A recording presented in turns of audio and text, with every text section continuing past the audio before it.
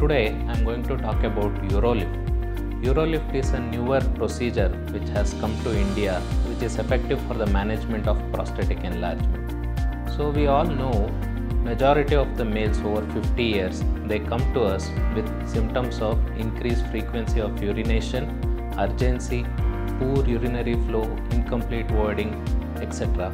So in these patients the chances of prostatic enlargement is very high.